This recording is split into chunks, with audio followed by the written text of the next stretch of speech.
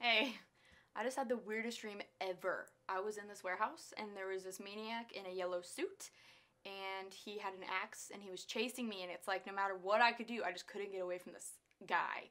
Wow, that's awful. Yeah, it was so scary.